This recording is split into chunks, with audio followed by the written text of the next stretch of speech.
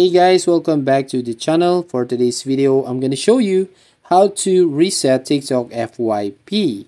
So FYP means For You page and this refers to the page on TikTok that is filled with recommended content and videos the app thinks you'll enjoy the most.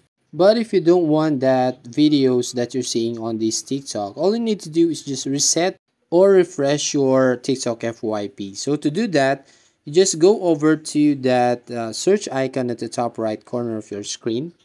And right over here you will find all the uh, search history. So you just need to clear or delete this one. Just tap this X button right here or this X icon at the right side of your screen. Then going back to your main page and try to refresh your TikTok main page right here. Now the second option you're going to do is Tap on this profile icon at the bottom right corner of your screen.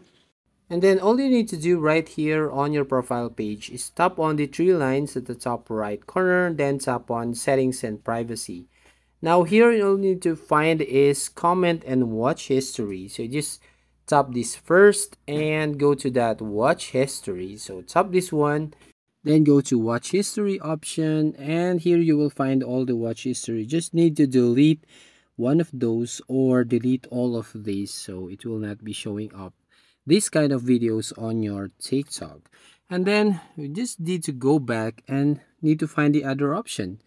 So go back and here you can see content preferences right here.